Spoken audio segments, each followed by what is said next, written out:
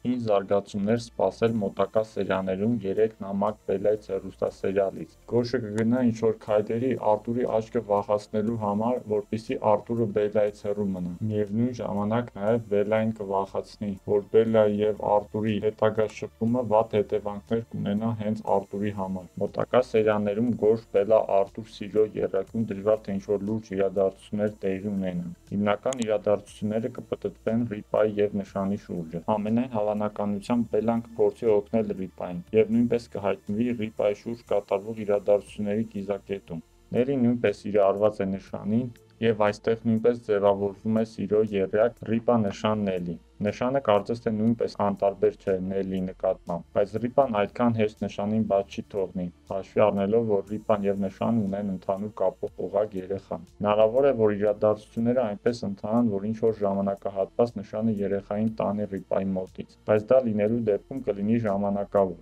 Իսկ այժմ զարգացումները այնպես են ընթանում, որ Ռիպան չի կարողանա ազատվել իր նախկին գործի տնօրենից, և Նշանի տված փողերը մեծ հավանականությամբ կգողանա Ռիպայի գործընկերուհին, և Ռիպան ստիպված կլինի էլի դիմել Նշանին։ Եվ այդ ժամանակ կլինեն խառը զարգացումներ, որը գուշակելը դեռևս դժվար է։ Դե ինչ հետևենք հեռուստասերիալին այդ բոլոր զարգացումները իմանալու համար։